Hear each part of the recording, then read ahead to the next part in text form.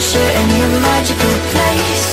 You and me together just like fairy tale